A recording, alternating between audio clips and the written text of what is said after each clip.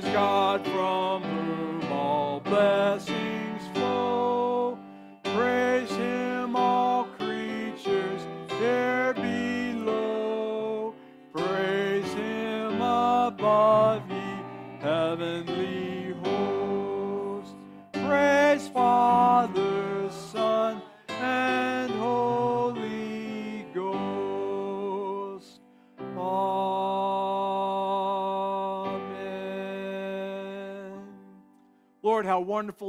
to, to walk with you, Lord, to receive every good thing from your hand and have, Lord, the opportunity to return just a portion for your glory. Lord, just, Lord, take what you've given and shared with us to, to magnify your glory everywhere. In your precious name, amen. Hey, please be seated and let's continue in prayer.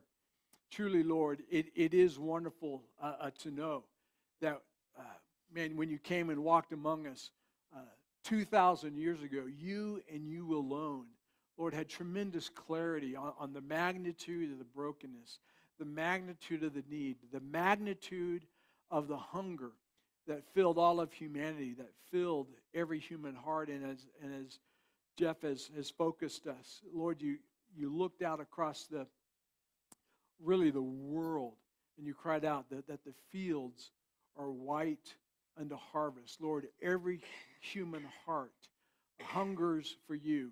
Lord, and it is our desire that you would use us.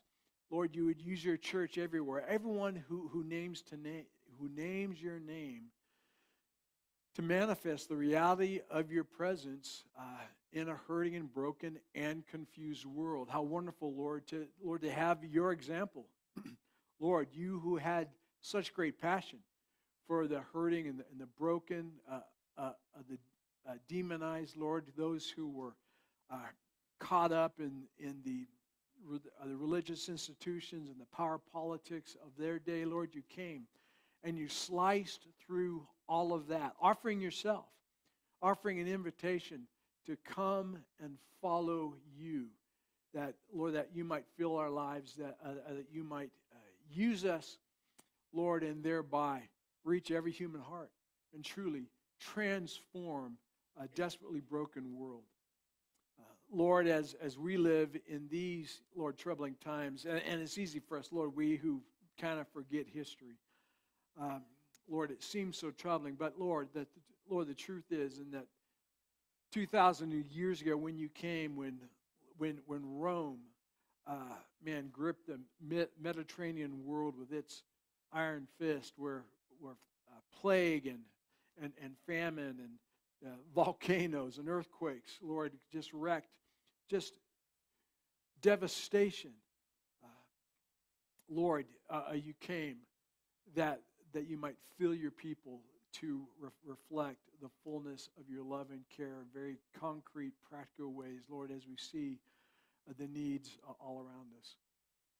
Lord, we pray for Al. Uh, Lord, thank you for his, his Lord, his daughter be, being with him this weekend. Lord, for Ed and his faithfulness. And Lord, we just pray that you'll continue just to, Lord, to be with Al. Lord, that, uh, that you'll strengthen him and encourage him. Lord, that he can, uh, Lord, just get his strength back and, and, and and join us, Lord, and can turn and continue to uh, to serve you.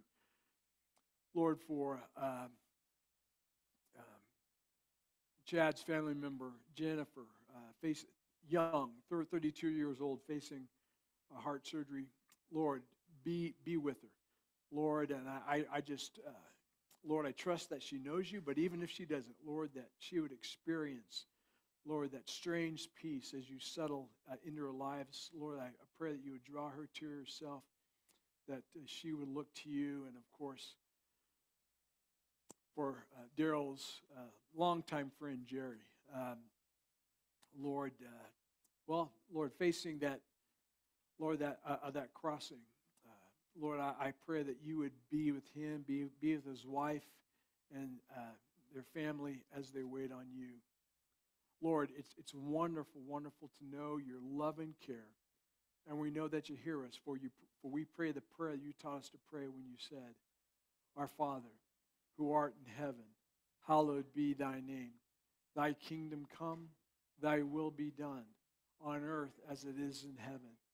Give us this day our daily bread, and forgive us our trespasses, as we forgive those who trespass against us. And lead us not into temptation, but deliver us from evil. For thine is the kingdom, and the power, and the glory forever. Amen. Hallelujah. Hey, open your Bibles to uh, Genesis chapter 11. The last time we're going through the Tower of Babel as we take a look at the, uh, at the five questions that uh, Jesus asks as he, as he disciples us, uh, we come to the, uh, uh the final question uh, Do you believe me? And this is, the, this is the money question. This is what the Lord uses to, to focus attention on who He is and who He calls us to be. It is, is this quality that unleashes nothing less than his power, the power of, of heaven and earth, um, in, in, into the world. It's found in John 11. That's that, that, uh, that scene uh, where, where Jesus calls Lazarus from the tomb. Uh, Lazarus is sick. Um, uh, family friends tell Jesus that Lazarus is, is sick and they want Jesus to, to come to attend to him, to, to heal him, and Jesus delays, and then he gets a report that Lazarus has died. And then we get this the compassionate, caring Jesus says this, and it feels like a slap in the face. This is Jesus speaking Lazarus has died, and for your sake, I am glad. Jesus Where's your tender heart for the hurting and the broken? Lazarus has died. Mary and Martha are grieving and the whole family and, and circle of friends are grieving because it looks like death has once again won its ugly victory. Jesus says, I am glad that Lazarus has died, that I was not there. Why? So that you may believe. All right, and we've got to draw a hard line under that so that you may believe. See, what, what Jesus understands is that that connection, that, that quality of relationship where we are connected to Him and He fills us, has the promise of changing everything. And He calls His disciples and He calls us to dial into that reality. And so here, here's the question. It comes from John uh, 25 and 26. Jesus says to Martha, as Martha and Mary are grieving, I am the resurrection and the life. Whoever believes in me, though he die, yet shall he live. And everyone who lives and believes in me shall never die. And he looks Martha right in the eye and he asks her, Do you believe this? And I'm convinced that all of heaven is watching, waiting for Martha's response. How Martha responds, I'm absolutely convinced, will either trigger a miracle and Lazarus rises from the tomb or he, or he remains dead and the world remains in the grip of the power of death. He looks at Martha. Do you believe me? Do you believe this? Do you believe me? Uh, so we have this, this word believe, and it, and it operates on three levels, uh, and it's appropriate to use that word on all three levels.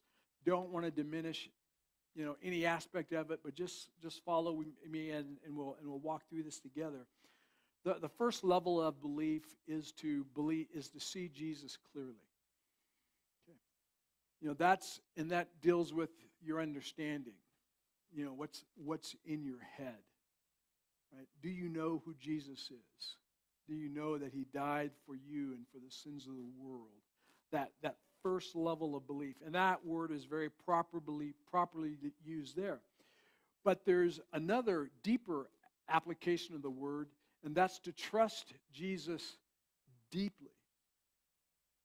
See, not only does belief engage our heads, so you can write a statement of belief, ideas that you carry in your head that you know to be true. But also, do you trust Jesus deeply? And now that engages our emotion, right? Uh, that quality of, uh, man, I, I, I, man, I do trust you like you, you know, you might trust a doctor who's about to operate on you, you know? I lay my life in your hands. Yes? Everyone recognize that gear shift from head to heart? Okay? And then there's a third level of belief, and that's to abide in Jesus completely. So that quality of belief engages our whole being head, heart, and body as the Holy Spirit indwells us and uses us to bring his glory into a hurting and broken world. Can you guys see all those three transitions there? Right? And we can and, and you can also understand how a person can stop at either one of those places. Yeah, I've got right ideas about Jesus. And stop there. Or yes, I trust Jesus. He died for my sins. And then stop there. But there's that deeper level, that's to abide in Him. Uh, Jesus, use me for your glory as we abide in Him completely. Yes? Okay. All right. Do you believe me? Jesus asks. So let's let's let's kick around the process real, real quick. Has been our pattern. Um, as Jesus, you know, calls us to be His hands and feet in a hurting, broken world. Uh, first is, you know, he draws our attention to the need personal need, family need, need in the community, need in the world. Um, and those first four questions di- dial us in to that. Uh, as we see uh, the need, we, uh, we turn to the Lord uh, in the midst of the need because we recognize we don't have what it takes, we don't have the resources, we don't have the power, we don't know what to do. Third, we receive direction from the Lord to meet the need. He wants to move us into the whatever the crisis is, whatever the concern is, with His presence. And as we take a deep breath and we jump off that cliff because I don't know what's going to happen, that's where we abide he invites us to abide in him. Lord, I don't know what needs to happen. I don't know what you're going to do, but here I am. Use me. See, and let me tell you, if you ever been there, right? I, I mean, you're on the precipice of some overwhelming need and you're right on the edge and you're about to step off. Jesus is going to say, Do you believe me? Don't step unless your answer is, Yes, Lord. Use me for your glory. Okay? So Jesus asks, Do you believe me? So we come to Genesis 11, 1 through 9, just to be faithful to, um, to where we are. For the fifth and final time, Genesis 11, 1 through 9. Now the whole earth had one language and the same words, and as people migrated from the east, they found a plain in the land of Shinar and settled there. And they said to one another, Come, let us make bricks and burn them thoroughly. And they had brick for stone and bitumen for mortar. Then they said, Come, let us build ourselves a city and a tower with its top in the heavens, and let us make a name for ourselves, lest we be dispersed over the face of the whole earth. And the Lord came down to see the city and the tower which the children of man had made had built. And the Lord said, Behold, they are one people, they have all one language, and this is the only the beginning of what they will do, and nothing that they propose to do will now be impossible for them. Come, let us go down and confuse their language so that they may not understand one another's speech. So the Lord dispersed them from there over the face of all the earth, and they left off building the city. Therefore, its name was called Babel, because there the Lord confused the language of all the earth, and from there the Lord dispersed them over the face of all the earth. As we looked at uh, this passage last week, as, as we looked at the, the, uh, uh, the confusion and the desperation, the, uh, uh, the concern that uh, the story conveys, you know, lest we be dispersed. They had this real, yeah, I mean, I mean, they're anxious. They came up with this great idea: let us make bricks, and there's no belief in that story at all. There, there's no turning to the Lord in the midst of the need. There's no surrender to the Lord, asking, Lord, how would you use me to meet this need? They just come up with great ideas. Rest, everyone see that? so it begins Do you believe me? The Lord invites us to see the truth, to see Him in uh, the midst of the truth. So last week uh, we talked about the issues of Babel. Uh, when, when we're in the midst of great need and we're cut off from the Lord and we don't look to the Lord, what happens? Uh, uh, we go to great ideas. You know, we, uh, we get filled with, quote, spiritual inspiration. We uh, depend on ourselves and we're driven by tremendous fear.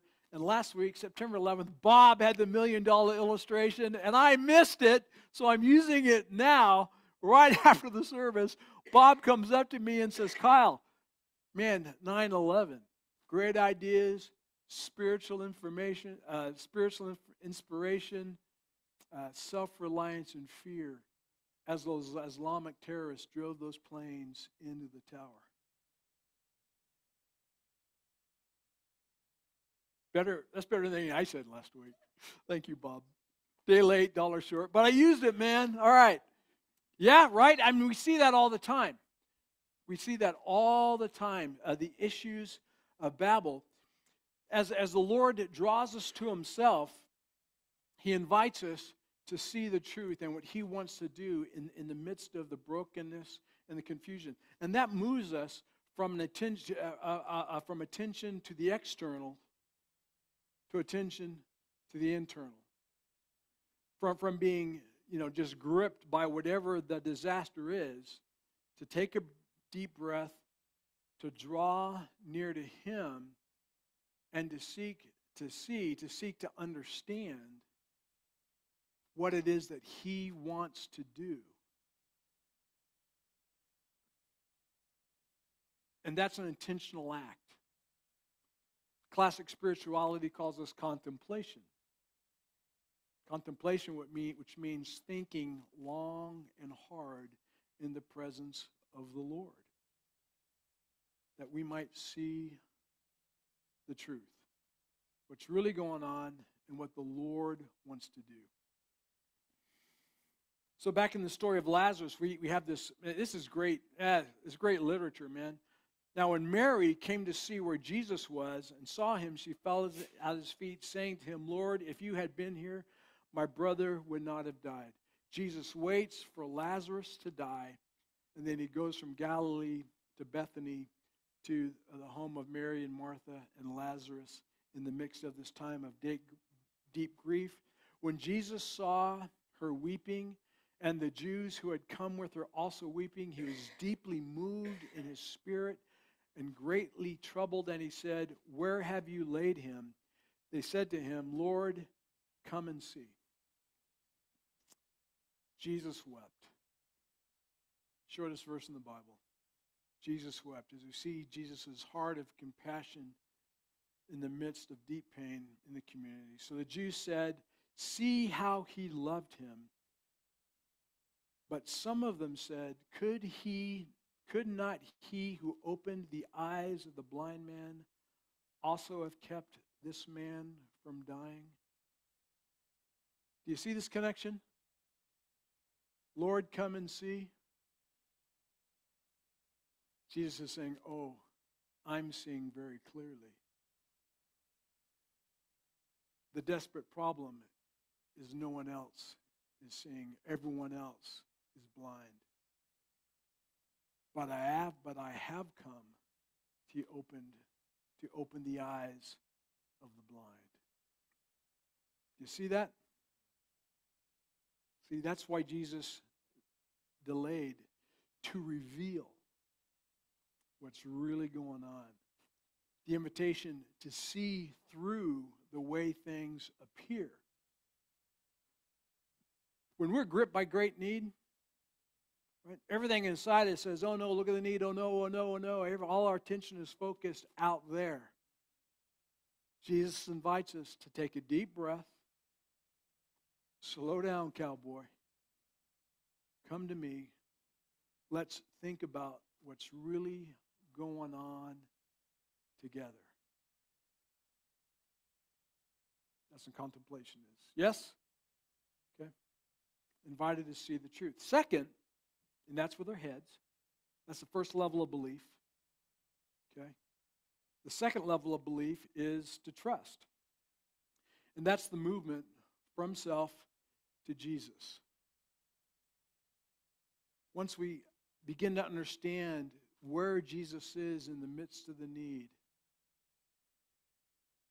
I, I begin to move from I need to do something and I need to do something right now to, to the help me Jesus prayer. Lord, you need to do something and you need to do something right now. And so Jesus says to Martha, I am the resurrection and the life. Whoever believes in me, though he die, yet shall he live. And everyone who lives and believes in me shall never die. And there's the question do you believe this? Now, Martha responds, Yes, Lord, I believe that in the last day the Lord will res- God will resurrect the other faithful dead. Jesus is focused on a, an immediate opportunity, isn't he? I mean, imagine being there. We all understand the reality of death. We've all had loved ones pass. And the, and the, and the apparent finality of death. Jesus is saying, ah, things are not as they appear. Do you trust me? Do you believe me? And it's that second level of belief, which involves the heart, where we move from a panic to peace. Okay, Lord.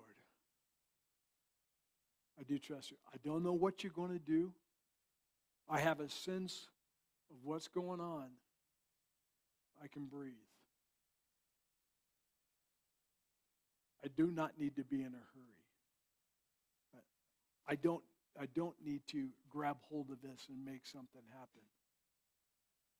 The wonderful passage at the end of Isaiah 40 they who wait upon the Lord shall renew their strength. They shall mount up with wings like eagles. Yeah. So we're invited to trust. And then comes the invitation to abide. The next, John chapter 15. If you abide in me and my words abide in you, ask whatever you wish and it will be done for you. By this my Father is glorified that you bear much fruit and so prove to be my disciples. As the Father has loved me, so I have loved you. Abide in my love. Ask whatever you will. And at this moment, what Jesus is calling us to do is pray his will into the need that we see around us. Now remember, there, there, there have been two prior movements of the Holy Spirit. Right? First, the, inv- in, the invitation to see the truth, to see what's going on, what's really going on, and what the Lord wants to do. Okay, I understand. The second invitation is the invitation to trust. Okay, this isn't about what I can do, Jesus, but it's about what you want to do. And that opens the door to prayer. What kind of prayer? Not what you want. The Lord has already processed has already processed processed that out, hasn't he? Lord, whatever you will have is what I will pray. And in the work of prayer, it's moving towards that increasing clarity of what the Lord will have. And that's why prayer is, is often so, so hard. It's, it's wrestling to get to that reality of what the Lord would have and not stopping until you have confidence and clarity that what the Lord wants to do, He will do. In this quality of abiding, you see. Ask whatever you will, because the Lord has dialed us into what He intends. Is everyone tracking with me here? Okay? This is the work of prayer. And having prayed God's will, it's being prepared to doing God's will with His power. Because as we pray God's will into the world, what we need to understand, and there's no bait and switch here. As we pray God's will, we pray with the full clarity that it's very, very likely that God wants to use us to engage the problem, to engage the need. Not with our confusion or weakness or no, with nothing less than His presence and His power. Okay? So, ever since you know, the last whatever, two, four, six years. Yeah, I believe since 9 11, America has been, in the, has been in the season of disruption. The church has been in a season of disruption. And we see all around us all kinds of chaos and panic and confusion and power grabbing and endless amounts of foolishness as people are acting just like the people of Babel. We got to do something, and we got to do something right now. See, Jesus is wants to use us to slice into, to, to, to break into that quality of foolishness. And so invites us. He asks us, Do you believe me? And it's that first level. Do you see clearly what's going on and what I want to do? Do you trust me that I can do far more abundantly than all you can ask or think? And then will you abide in me that I might abide in you, that I might use you to engage the foolishness that we see all around us. Okay? There's no easy answer here. Just like there's no easy answer for whatever might, might be going on inside you. No easy answer. No easy answer for what might be going on in your family. No easy answer. No easy answer for what's going on in our culture no easy answer. That doesn't mean there's not an answer. All it means that the Lord has now gotten our attention and He's calling us to understand, to trust, and to do with His presence and His power.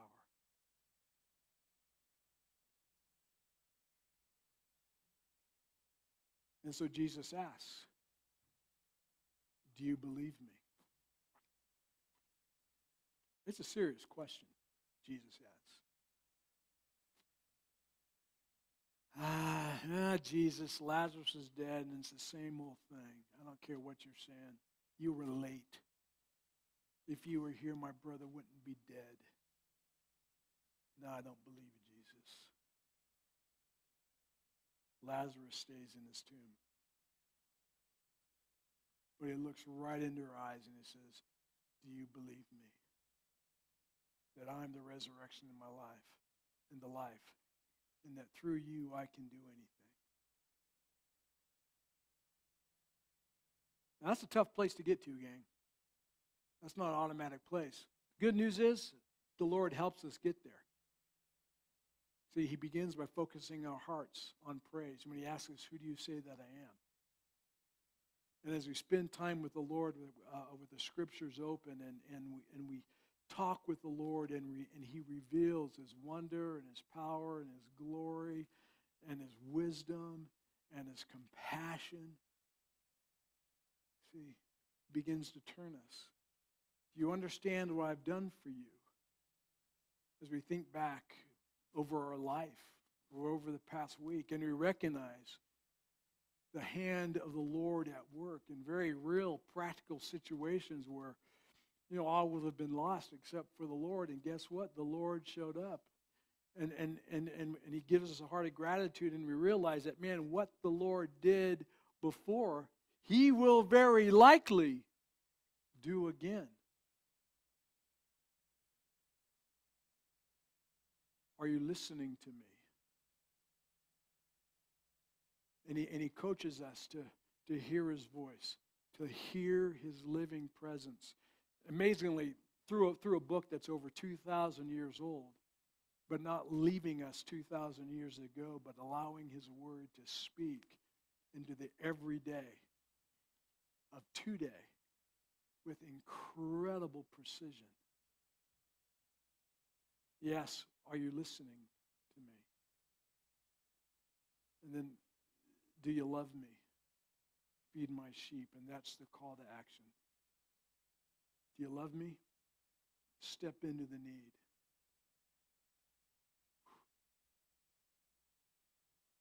And he asks, Do you believe me? Do you see me clearly? Jesus asks.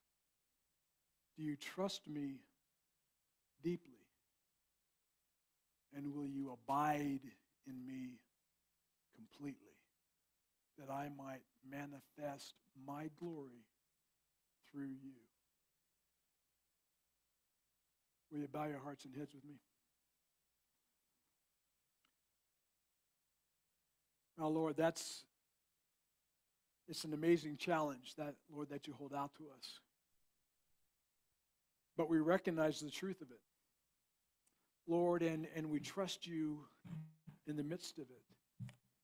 And you call us, Lord, to walk with you, to open our hearts to the fullness of your presence, that, that you might use us in the midst of the confusion all around us. Lord, we're in the room. We are all over the map in, in, in, in terms of you know, how long we've walked with you, our familiarity with you, but it is absolutely, simply true that your desire is to use each one of us, to, to raise us up, to equip us, to disciple us, to, to shape us, that we might be nothing less than your living presence in the hurting and broken world. Lord, open our hearts to you more and more completely. Lord, help, help us to see you, help us to, to trust you, and help us to abide in you for your glory. We ask it in your precious name. Amen. Let's stand together as we sing, Jerry.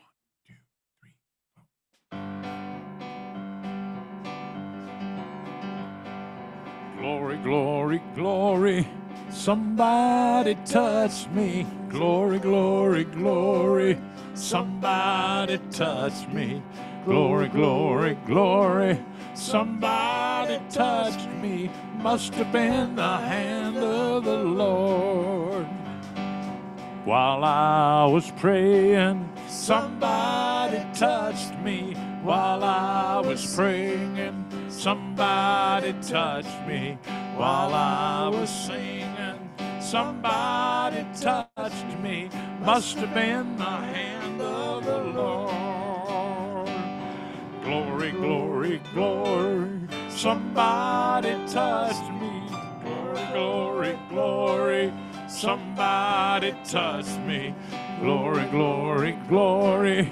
Somebody touched me. Must have been the hand of the Lord. It was on a Sunday. Somebody touched me. It was on a Sunday. Somebody touched me. It was on a Sunday. Somebody touched me. Must have been the hand of the Lord. Must have been the hand of the Lord.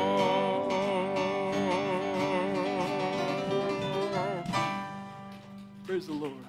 So go from this place filled with His presence, filled with His power, and serve Him for His glory, both now and forever. Amen. One, two, three, four. Glory, glory, glory.